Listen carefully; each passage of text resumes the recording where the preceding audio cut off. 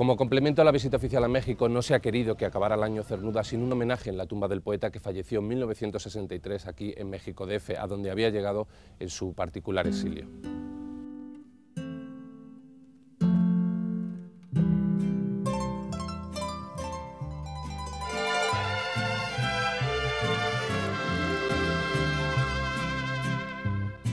Qué lejos estoy del suelo donde nacido. Inmensa nostalgia invade mi pensamiento. Y al ver en los vastos jardines sin aurora, donde yo solo sea memoria de una piedra sepultada entre ortigas sobre la cual el viento escapa sus insomnios, donde mi nombre deje al cuerpo que designa en brazos de los siglos,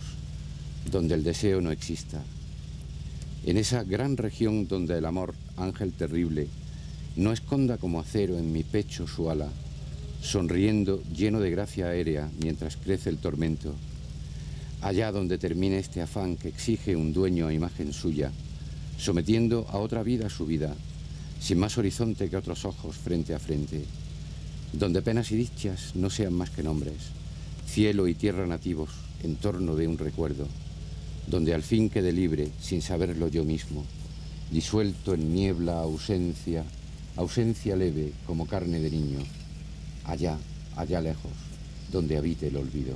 México supone para él ese reencuentro con la, con la vida, porque él, después del exilio de, 1938, había trabajado en universidades inglesas, primero en, bueno, en, Glasgow, en Cambridge, en, Londres, luego se trasladó a, Estados Unidos y para él mm, eh, todo, todo ese sistema de vida era, era un poco mm, deprimente porque eh, suponía lo que él llamó en el poema El, ruiseñor en la, en la piedra, la pesadilla del mundo práctico, del mundo anglosajón. Y cuando él viene a México se reencuentra en, primer término con el, con el idioma. Y algo quizá más importante, con unas raíces vitales, con una sensualidad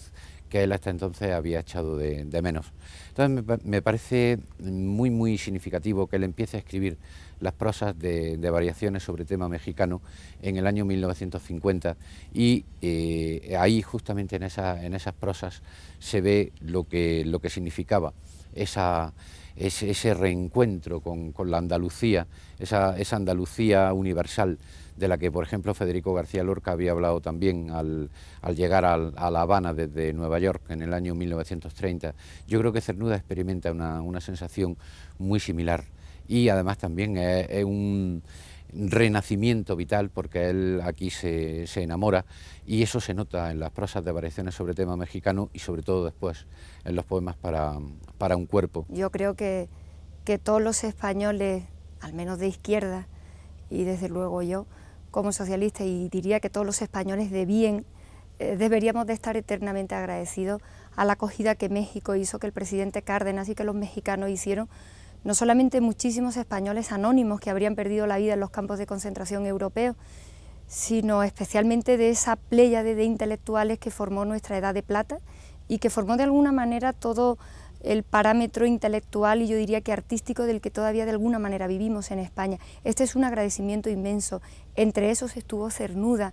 Eso no tiene palabras, eso significa la, la memoria que no podemos perder los españoles cuando nos sentimos cerca de los mexicanos y cuando tenemos que seguir recordando que muchos de ellos pudieron acabar haciendo su obra en su idioma y recreándose en su propio idioma, algo imprescindible para un poeta, escucharlo cada día alrededor para poder seguir creando, pues eso fue lo que México le dio a Cernuda, le dio a Cernuda y le dio a otros. Estas cosas, aunque pasen muchos años, no pueden pasar del agradecimiento del corazón, yo creo que de todos nosotros. Inesperadamente a este homenaje se suma alguien que conoció a Cernuda, Paloma Altolaguirre, hija de los autores malagueños Manuel Altolaguirre y Concha Méndez, en cuya casa vivió el sevillano. muchos recuerdos, pues fueron muchos años, los años más felices. Muchos recuerdos cotidianos y pequeñitos, no nunca los recuerdos son nada importantes, son la vida cotidiana de todos los días, el comer, el irse al cine. Paloma Altolaguirre, emocionada, trata de recordar que entre estas tumbas del Panteón Jardín se encuentra, olvidada, los restos de otra de nuestras voces líricas, de otro de nuestros grandes poetas del exilio, Emilio Prados, y finalmente, buscando, la encuentra.